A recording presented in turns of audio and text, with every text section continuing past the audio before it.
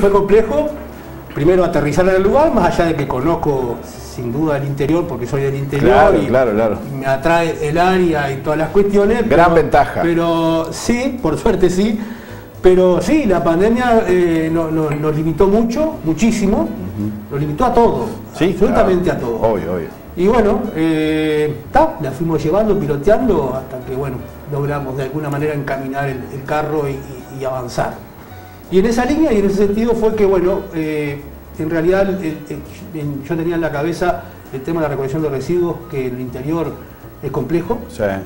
eh, todavía está complejo, pero bueno, venimos avanzando de manera interesante, importante y creo que va a ser un giro de, de 180 grados eh, en, en cuanto a la recolección y en cuanto a los vertederos cielo abierto, que todavía queda alguno, lo estamos cerrando, trabajando en la misma línea, que, que es interesante también decirlo, la misma línea de la administración anterior. Ujú. Se cerró el vertedero a cielo abierto en Florida, Claro. eh, quedaron algunos pequeños vertederos por ahí en el interior, Bueno, que, el- que más de algún edil siempre estaba nervioso por el Sí, tema. sí, sí. Natural y, lógico. No, a ver, eh, es comprensible. Totalmente este, comprensible. Leonardo, porque uno ve, a ver, me, me pongo en el lugar del que está en Casupá, ¿no? Uno ve desde Casupá que cerraron el vertedero de Silberto acá en Florida, tremendo vertedero. ¿Qué, es lo- qué es lo próximo que ¿Cómo quiero? lo podemos cerrar? Exactamente, bueno. En esa línea hemos trabajado fuerte y, y bueno, estamos ya en la etapa final y llegando a esta cuestión del cierre de los vertederos de, de, de Casupá, que seguramente es el que, el que más Ruido. Ah, ah, está, más ruido ha hecho. Y bueno, algunos otros pequeñitos que teníamos ahí en Capilla del Sauce y Nico Pérez, que, que también Bien. con este nuevo sistema de recolección de residuos vamos, vamos a lograr. Así que se van a cerrar más vertederos del interior en este periodo. Sí, los que quedan. porque creo, que no me, creo que no se me escapa ninguno. Sí, sí, claro. Eh, Por ahí de repente aparece algún foco de, bueno, a veces también la gente es un poco desordenada de alguna manera y bueno, algún foco a veces aparece, tratás de eliminarlo, poner algún cartel y bueno, vas piloteando. Bien, eh, eh, vos decías, tenemos algunos lugares, pero déjame señalarte uno, este, que parte de lo que nosotros vimos como experiencia, un lugar que está bueno, porque hay que decirlo así, está bueno, allí hubo un cambio sustancial, que fue en Revoledo, esa este, aplicación de esos contenedores este, más pequeños, domiciliarios, pero que tiene una ventaja sustancial en el interior. Este, seguramente tendrás más datos al respecto, Sí. pero refresquémosles a la gente qué fue lo que pasó en Revoledo, por qué no hay más basura en las calles, por qué no hay perros sacando la basura en las calles en Revoledo, qué fue lo que pasó allí? Exactamente. Ah, Eso, Revoleo fue el plan piloto, elegimos Revoleo primero como pequeña localidad, eh, segundo porque, porque pequeña, pequeña localidad por varios, varios temas.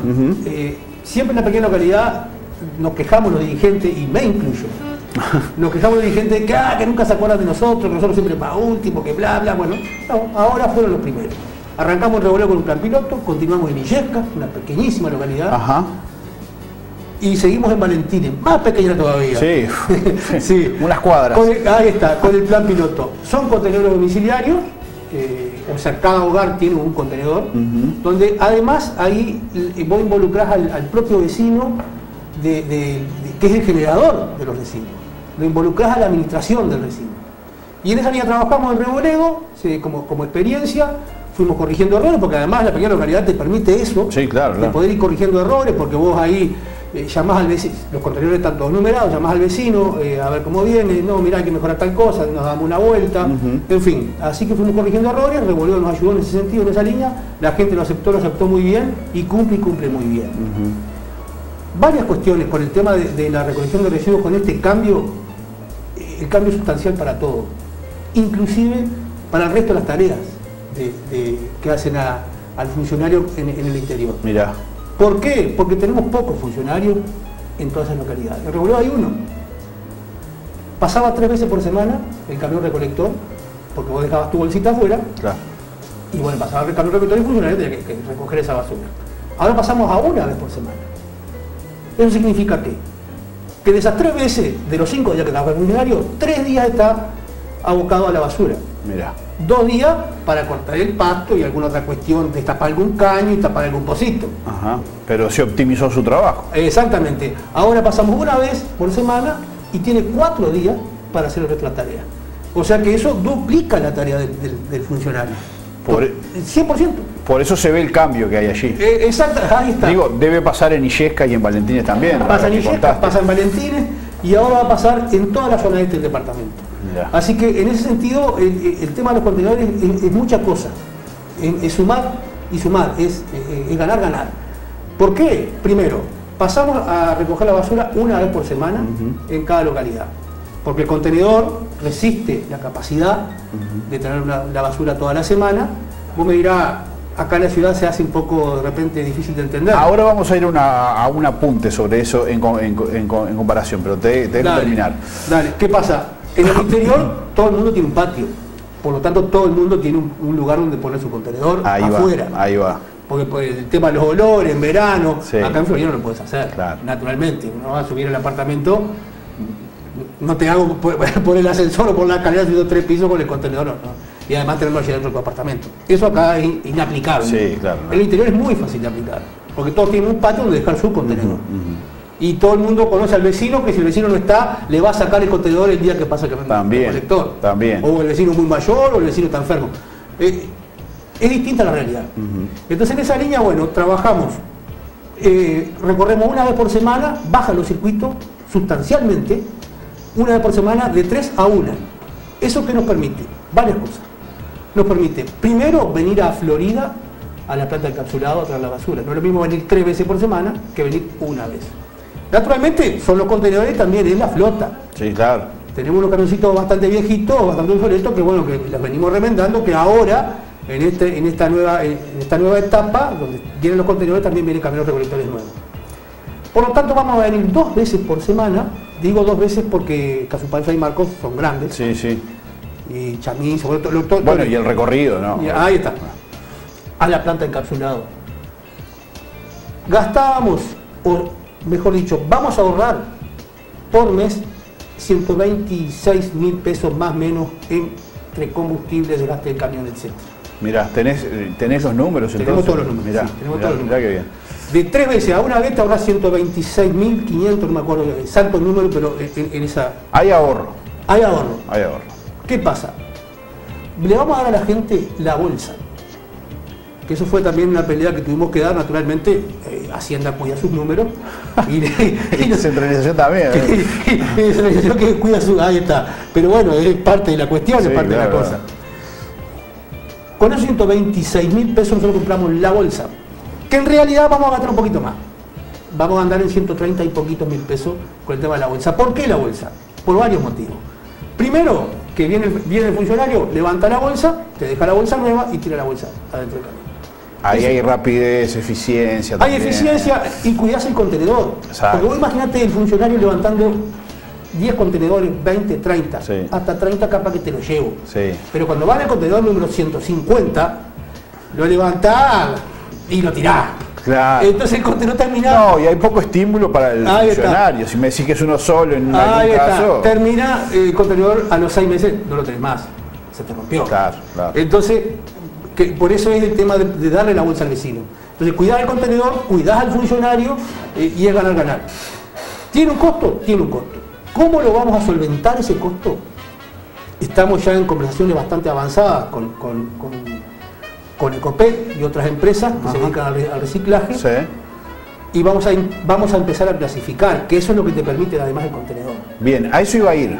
Y ahora me contás más, porque uno, uno de los puntos del interior este, y esta experiencia la encontramos hablando con los vecinos, ¿eh? Eh, cosechando allí testimonios, en Reboledo principalmente, que fue donde estuvimos junto con mi compañero Renson, en más de una oportunidad. Los vecinos nos decían esto, ¿por qué les servía el tema del contenedor? Porque ellos hacían una suerte de preclasificación. Este, el concepto se lo manejamos nosotros, ¿no? Pero el ejemplo que ellos ponían es, yo tiro la hierba en la quinta, y tiro las cáscaras en la quinta y al contenedor lo dejo livianito porque le pongo las bolsas, los plásticos, algún vidrio. Este, y eso creo que es, es así, es una etapa que sería interesante, hay que buscarle y mucho la vuelta para aplicar acá en Florida, pero es una, para mí, de las principalísimas, porque es el paso a la clasificación que tanto ahí queremos. caminar y por eso el contenedor domiciliario, entre otras cosas, entre otras cuestiones el contenedor domiciliario, por eso digo es ganar, ganar por donde lo mires. Hasta, para ahí queremos caminar, para la clasificación. Queremos también que el plástico salga de esa bolsa de basura. Y ese plástico que vamos a recoger en todas las localidades, que además también tenemos pensado y ya armado algún tipo de competencia per cápita para motivar a la gente, ese plástico se lo vamos a cambiar, si vale el término, a las empresas de reciclaje, si te doy tantos kilos de plástico, me das tanto kilo bolsa. Mira. Y los cálculos dan eh, bastante bien para solventar ese gasto de la bolsa que estamos dando al vecino. Así que bueno, la Intendencia va a amortizar, sí, por unos meses, algo de 20 y pocos mil pesos entre lo que se ahorra de combustible, el camión viejo, etcétera, etcétera. El tema de la bolsa. Hasta que se ponga en funcionamiento la cadena. Hasta que la cadena cierre y se ponga en funcionamiento y después sí, ya es ahorro, ahorro, eh, eh, eh, ahorro de verdad para la Intendencia el tema de, del nuevo sistema de recolección de residuos. Bien, bien. Bueno, ¿qué es lo próximo que tenemos para el interior entonces? ¿Dónde, dónde van a estar? Ahora vamos a estar, el 4 de marzo vamos a entregar contenedores en Nico Pérez para ir cerrando esa línea Ajá. y en Cerro Colorado. En, ese país. Ajá, usted lo conoce bien ahí. Sí, claro. 4 de marzo. 4 de marzo. Y próximamente vamos a estar entregando en Fray Marcos, en Chamizo, San Gabriel y Capilla del Sauce. Muy bien. Por ahí entonces, este, este, este, este, tema, y les decíamos nosotros, creo que el pegotín que tiene Leonardo en el, en el termo es bastante evidente. Has estado, has estado participando de las, de las recorridas que han realizado este, dirigentes, seguramente tenés tu campo de acción, porque las organizaciones requieren en, esto tener varios equipos, ¿no? Sí, por supuesto que sí, hemos estado participando de las diferentes actividades que, que lleva adelante todos los, actores políticos, en este caso de la coalición de gobierno, eh, en, cuanto al no, y obviamente en el interior, uno, por, un tema natural, y hemos recorrido con los alcaldes también la zona este, bueno, ahora estamos armando, el otro día estuve en conversaciones con el alcalde Sarandí y quiero armar una recorrida con los tres alcaldes. Vos querés salir con los alcaldes, dijiste, sí. Eh, contame de qué se trata eso. A Salir a, charlar con la gente, salir a la prensa, a contarles por qué no, por qué votar el no, por qué... ¿Y por qué no, Leonardo? A ver, ¿por qué no? La ley está vigente. Eh, ayer conversaba con un dirigente, que no lo voy a nombrar, de la oposición del Frente Amplio y me decía, después del 27 de marzo va a ser como que es un caos. Digo, pero a ver, quiero que se me escape el nombre, ¿qué pasa después del 27 de marzo? ¿La ley está vigente? ¿Por qué? ¿Qué, pasó? ¿Qué sucede? ¿A quién le hicieron daño? Que yo sepa nadie, a los delincuentes sí, a los violadores también, a los patoteros sindicalistas también, pero al trabajador no lo ha complicado para nada. Entonces, ¿qué va a cambiar el 27 de marzo si gana no? No cambia nada, absolutamente nada. Sigue como venimos. La ley de urgencia de consideración está vigente hace casi dos años. ¿Fue un, cambio de rumbo? Sin duda, la ciudadanía votó un cambio de rumbo. Ni hablar. Y a poquitos días de, entrar al gobierno, Luis Lacalle Pou, quien, quien lleva el timón, se encontró con la tormenta más grande de la historia sanitaria. La tormenta sanitaria más grande de la historia y así todo la viene piloteando bien. Dejémoslo gobernar, ayudémoslo a que termine el gobierno y después, dentro de tres años que falta para las elecciones, bueno, ahí le damos la nota. Pero ahora dejarlo trabajar, no le pongan más palo en la rueda. Ya está, ayudemos a gobernar. Aparte, esto es una cuestión, convengamos que ni siquiera es del Frente Amplio. A ver, ¿por qué no? Esto es una cuestión de PIT-CNT que se llevó puesto al Frente Amplio. Y el Partido Comunista, puesto se llevaron al frente. Y bueno, y el frente terminó agachando, bueno, como siempre, el Partido Comunista autoritario. Terminó agachando la cabeza y dándole para adelante y vamos arriba por sí. Pero esa es la realidad. Nada, dejemos gobernar como dejamos nosotros cuando tuvimos la oposición 15 años. Gobernar a los que estuvieron de turno y no poner para la rueda, al contrario. Si, si al Uruguay le va bien, le va bien a todos. Si al gobierno le va bien, le va bien al Uruguay. Ahí no va bien a todos. Es eso. La ley está vigente. No, no, yo no he visto. A ver, ¿a, vos te hizo daño la ley? Hay cuestiones que eh, marcan, por ejemplo, los representantes del sí, que tienen que ver en cuanto a afectación, como vos decís, de a quién le hizo algo. Por e, uno de los ejemplos que ponen es el tema de los combustibles. Esos aumentos cada 60 días, que ha generado, por ejemplo, preocupaciones en ámbitos productivos. ¿Cómo lo ves vos? Eh, a ver, primero, no hay nada más transparente, todo el mundo sabe, si quiere, cuando sube y cuando baja el barril. Y esa es la, es la paramétrica que dijeron y me parece perfecto. No es cuando, no es cuando a ANCAP le falta más plata para, para, aumentarles el sueldo si hacen un paro, ni para, ni para meterle la regasificadora, ni, no, no, no es para eso. Vos decís que antes se utilizaba entonces. no, se mal utilizaba los recursos de ANCAP. Ahora Sí, muchachos, subió el petróleo, subió el combustible. Bajó el petróleo, bajó el combustible. Transparente. No ha bajado, Leo. ¿No ha bajado el petróleo? ¿O sí? Lo que pasa es que lo que te comparan es que no había subido tanto en tan poco tiempo. No había subido tanto el petróleo en tan poco tiempo. o sea, eh, transparente, transparencia, se trata de eso. Eh, a ver, naturalmente a los sindicatos no les sirve. El otro día, lo dije el otro día en otro medio de prensa, y, pasó también en el puerto, ocuparon eh, la UTU unos poquitos, y los demás compañeros no podían entrar a tomar las horas. Está bien, vos haces el paro que vos quieras, quejate todo lo que quieras, manifestate, pero deja trabajar a tus compañeros. Eso no es libertad. Eso es imponer. Eso es totalitarismo. Eso es el Partido Comunista. Eso es Cuba. Eso es Venezuela. Si vos acá me pagás un sueldo, le pagás al pelado un sueldo y al pelado no le sirve y que se queje todo lo que quiera, pero que deja al otro venir a trabajar. Y si no, tenés que sacar el canal.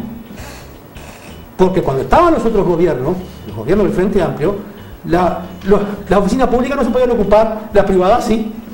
No, no, ahora no se puede ocupar ninguna, ni la privada ni la pública. Eso además es igualdad y eso es libertad. Vos querés trabajar, vas a trabajar. ¿Querés quejarte? Quejarte. Vos no querés trabajar, no vayas a trabajar. Y quejate lo que quieras y el que quiera ahí que vaya. Me parece, pero de, tanto sentido común que no sé cómo la gente no lo entiende. Eh, se me hace difícil. A propósito de la gente no lo entiende, te debe haber tocado seguramente tener que conversar con los vecinos en diferentes puntos de lo que has estado. ¿Cuál es la receptividad que tienen justamente? Mira, la gente, y, más en el interior. Fíjate vos lo de las tarjetas de débito y cómo cobrar el sueldo. Ahora la gente puede cobrar el sueldo, ¿cuánto es? 30, tomá. Y ahí vos le podés pagar como hace a EU ahora que está de paro. Y vos ahí no tenés plata ni para darle la propina al que cuida, al cuida coche, no tenés plata para la propina al mozo, ni tenés plata al pistero. O sea, ¿quién pierde? Claro, no la tiene muy clara, si ellos no trabajan. Andan chocando autos, mamá. Así que eso no, no, no corre, no corre. Yo creo que si se dedican a trabajar, a ver, porque además, si no hay patrón, no hay empresa, y si no hay empresa no hay trabajo. Chao, no hay misterio. Si vos mañana cerrás el canal, no hay patrón, no. Se terminó. Acá no, porque el patrón cerró el canal. Y quedan 3, 4, 5, 6, 7, ¿cuántos hay acá? Sin trabajo. Se terminó. O sea que tiene que haber un patrón. A no ser que hagas una cooperativa, que tiene que haber un líder. La misma 40. Yo creo que creo que más cháchara que otra cosa. Obviamente gente que vive haciéndose lo vivo vive del que aporta para el sindicato y, todo lo que dice pim, pim, pim, y ellos, chal, poco y chacharita, se quedó contento y pero laburar, creo que no es por ahí. Ah, salimos hace dos semanas, sí, dos semanas creo, con Charito, que es la alcaldesa de Fray Marcos, que le mandamos un saludo, salimos con el Lucho, el alcalde de Casupá, y bueno, ahora quiero salir con los tres alcaldes, ya tuve contacto con el Tano, que, bueno, que quedamos en agendar y arreglar, que de acuerdo que podamos todos, para salir los tres juntos a recorrer seguramente la prensa capitalina y también la prensa del interior.